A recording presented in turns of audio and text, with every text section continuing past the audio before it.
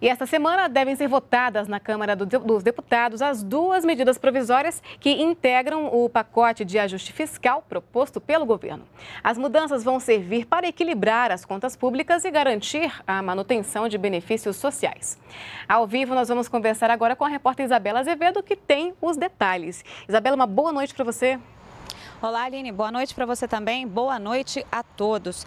Depois de uma reunião mais cedo com o vice-presidente da República, Michel Temer, e com parlamentares, o ministro da Fazenda, Joaquim Levy, voltou a dizer que as medidas provisórias são essenciais para, re... para o reequilíbrio das contas públicas. Levy afirmou que a economia brasileira está tomando novos rumos e recuperando a confiança dos investidores. É muito importante é, estar sendo votado no Congresso o mais rápido possível esse ajuste fiscal, até para a gente poder ir aquilo que eu chamei ontem, né, a agenda, a agenda além do ajuste, né, o triplo A.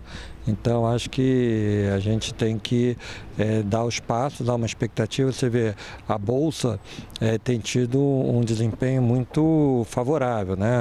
Passou de, já teve abaixo de 50 mil, hoje já está bem acima de 55 mil, né? Um aumento de mais de 10%, 12% de aumento na Bolsa, o que é uma demonstração mais que qualquer outra coisa de confiança de que a economia está encontrando é, novos rumos.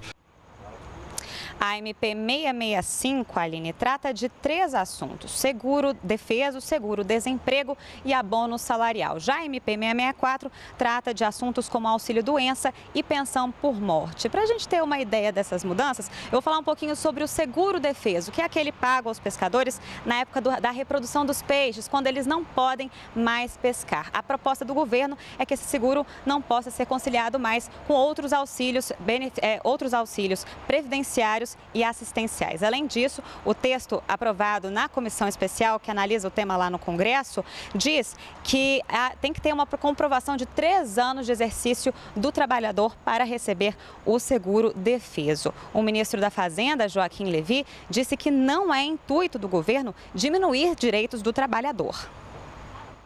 São medidas que não retiram nenhum direito do trabalhador, são medidas que, na verdade, é, consertam brechas que iam até contra os programas. Como eu falei ontem, se pegar, por exemplo, na questão do seguro-defesa, o que a gente quer? No fundo, quer organizar para ficar que nem a Bolsa Família, que é um programa perene, um programa que a gente sabe que quem está ali é porque atendeu requisitos muito claros de cadastro, tá certo? E é esse tipo de ação que estão nessas medidas. Como eu também falei ontem, todo mundo, quando é, entende o que a gente está propondo, fica extremamente confortável, porque entende que a gente não está tirando nenhum direito dos trabalhadores. A gente está fortalecendo programas que são essenciais para a tranquilidade das famílias brasileiras. A MP que trata do seguro defeso está sendo discutida no plenário da Câmara dos Deputados. Aline. Agora, Isabela, essa medida provisória ainda trata do seguro-desemprego, não é? Qual a proposta de mudança desse benefício?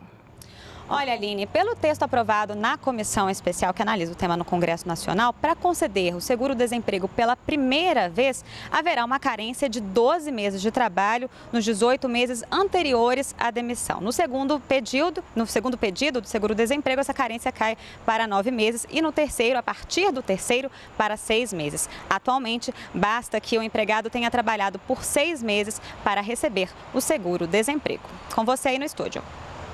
Perfeito, Isabela Azevedo, com informações ao vivo. Muito obrigada, Isabela.